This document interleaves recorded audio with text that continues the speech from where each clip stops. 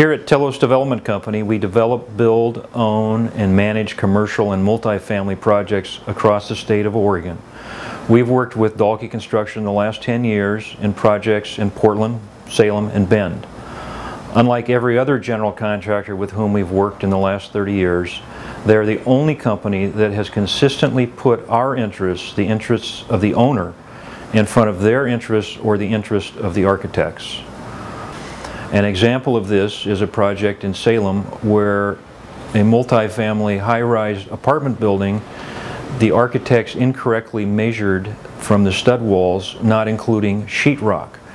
This meant that we were going to be out of compliance with ADA turn radii in the kitchens and had Dalke Construction not stepped in and brought this to our attention, it would have meant legal issues and substantial additional costs in redesigning and rebuilding these kitchens. We also greatly value the ability of their construction managers to think of the building's function over the long term and initiate changes during construction that save time, money, and future frustrations that are rarely seen in the design phase of a project.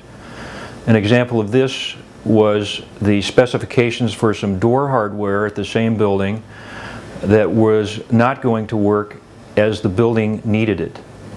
The construction manager called me, brought me to the site, and explained a better solution at no additional cost.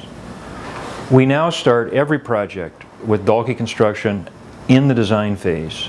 Their recommendations through the design process save our company time, money, and over the long term frustrations during the ownership and management of the projects. One additional point I'd like to stress is that after the construction is completed, and it may be months or years, there are always issues that emerge. Dalke has always been first in line to accept the responsibility and get whatever shortcomings we have discovered corrected.